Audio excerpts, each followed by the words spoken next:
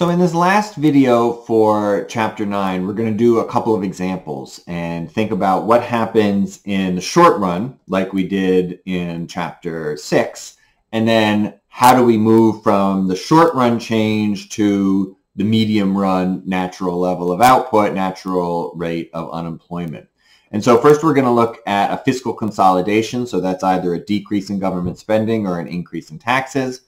Um, and Second, we're going to look at uh, an increase in the price of oil. Um, and so this was obviously one of the things that was going on in the 1970s when the Phillips curve broke down. And so I think it helps us um, think about, you know, what happens when a key input price, uh, in this case oil, uh, goes up and how that affects the economy both in the short run and then in the medium run.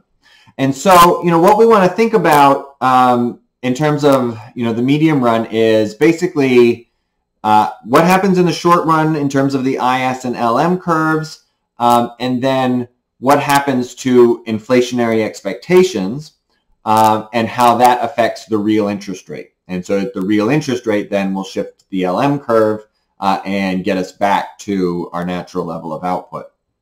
So here's our first example of a fiscal consolidation. So remember, fiscal consolidation is either a decrease in government spending or an increase in taxes that shifts our IS curve to the left. So we start here at point A. We get the fiscal consolidation. We get a shift in our IS curve um, to the left, to IS prime, and we move from A to A prime. Now, one of the things to note in this example is that we're not assuming any change in monetary policy. Okay, so just imagine the central bank's doing nothing. So output falls from yn to y prime. Well, now we know that if we have a negative output gap, right, so output is lower than the natural rate of, or natural level of output, then inflation falls. And so that means we're here at A prime. And if inflation falls, that means inflation is lower, right? And remember the real interest rate is the nominal interest rate minus inflation. Now inflation is lower, so the real interest rate is going to be lower. Um, and we move uh, along our new IS curve. So the key here is that the IS curve doesn't shift back. Um, we just move along our new IS curve to our new equilibrium, A double prime, um, at the natural level of output. And I mean, the key with all of these sort of medium run questions is that yes, we assume in the medium run that the economy pushes back to its natural level of output um, eventually. Um, as we saw in the last video with the Great Depression, that eventually could be a decade, especially if we end up in a deflationary spiral. So hopefully monetary policy, you know, sort of kicks in and, you know, they might reduce the nominal interest rate here to get us back to A double prime faster.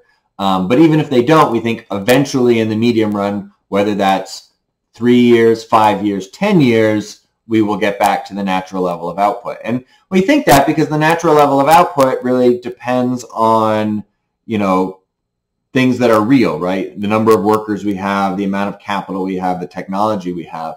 I think the sort of maybe flaw in the model and the flaw in the argument is when we have something like the Great Depression, uh, where you know, investment is lower for a long time, that means we're not investing in new capital, we're not investing in new technology, and that can uh, lengthen the amount of time that it takes in order to bring us back to that natural level of output. Um, and I think then the problem becomes, you know, you try to estimate that natural level of output and the natural rate of unemployment, and you know, you end up with estimates that it goes down in long recessions, and that doesn't really make sense.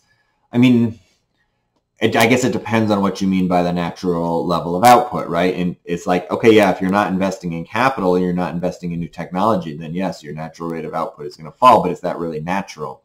I think that's an uh, open question. All right, so now let's think about the effects of an increase in the price of oil. So as we said, you know, when OPEC was formed in the 1970s, we had both the formation of OPEC and then we had, you know, a couple of Arab-Israeli wars which pushed the price of oil up. Um, and so this blue line is the nominal price of oil from 1970 to 2015, and the red line is the real price of oil, so adjusting for inflation. and you can see, you know, the price of oil in the late 70s was basically the same as it was when it spiked in that sort of 2007 uh, time period. Um, interestingly, I think, you know, it didn't cause a recession in 2007. And, and, one of the main reasons for that is that we're not as dependent on oil uh, as we used to be in the 1970s. And it definitely did cause a recession uh, back here. Um, all right, so if we think about sort of the brief history, so OPEC is, of course, the Organization of Petroleum Exporting Countries, um, and it acts as a cartel, right? And that cartel is able to not control the price of oil because not all oil producers are in OPEC, but able to influence the supply of oil and therefore the price of oil.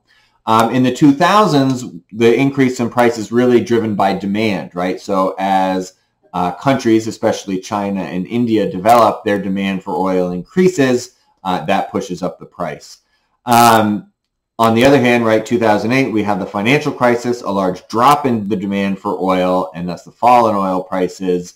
Um, and then sort of afterwards, what's going on is we have an increase in the supply due to U.S. production um, and some uh, disagreements within OPEC um, and also, of course, the problems within Venezuela um, causing a drop in, in oil prices. Okay, so let's think about what's going on. So we don't really have the price of oil in our model, right? We, we don't even have input prices in our model. So how are we going to model this? Well, one way we can do it is to just think of, all right, well, if the price of an important input goes up, we can kind of think of that as like an increase in the markup. But instead of that markup going to all producers equally, some of it's just going to the oil producers, right? Um, and so when that happens, we get a shift down in our price setting curve and we move along our wage setting curve and we get a lower real wage and a higher uh, natural rate of unemployment. Um, how do we translate that now into our uh, ISLM model? Um, well, okay, so if we start here at A at the natural level of output, um, then we, what happens with the increase in the markup, we get increases in prices. That's a shift in our Phillips curve.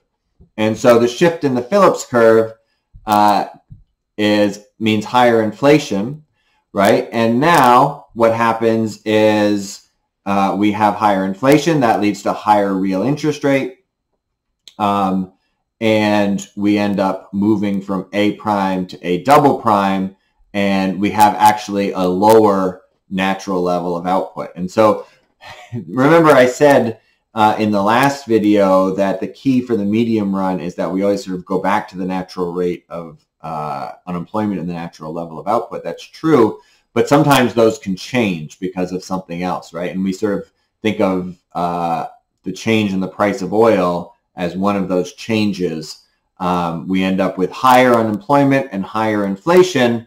Um, and that was, you know, sort of the stagflation, right? Stagnation and, and inflation. That became stagflation of the 1970s.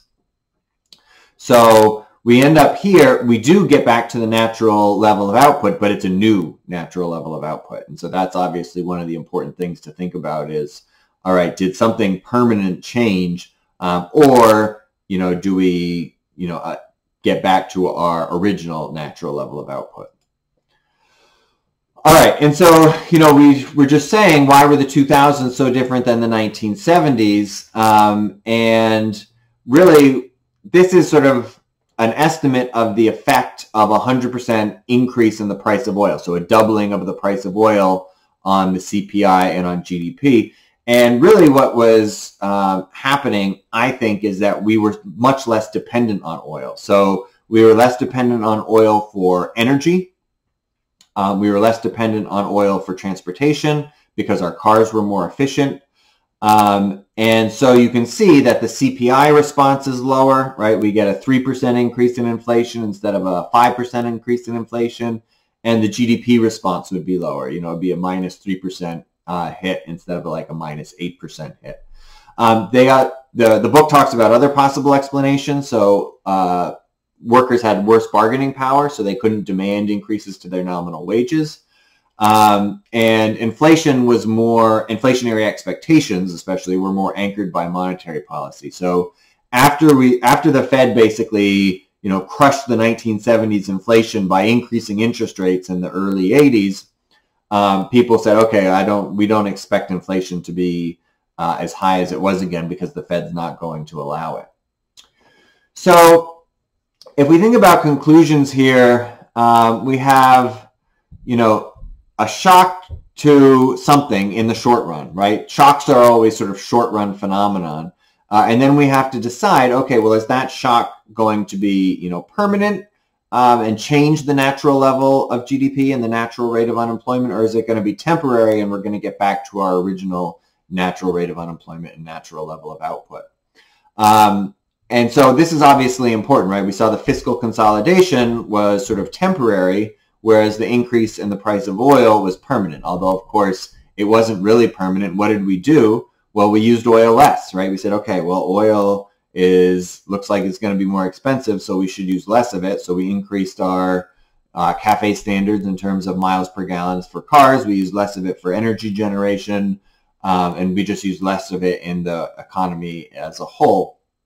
Um, and so what we want to think about is, you know, we've got these output fluctuations in the short run, whether that's a, a recession where we end up with higher unemployment and lower GDP growth, or an expansion where we end up with higher GDP growth and lower unemployment.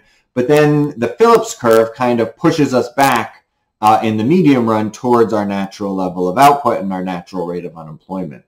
Um, and so how that happens, you know, we can refer to that as sort of the propagation mechanism, and we can use our ISLM uh, PC model, so adding the Phillips curve to think about how we move from the short run to the medium run.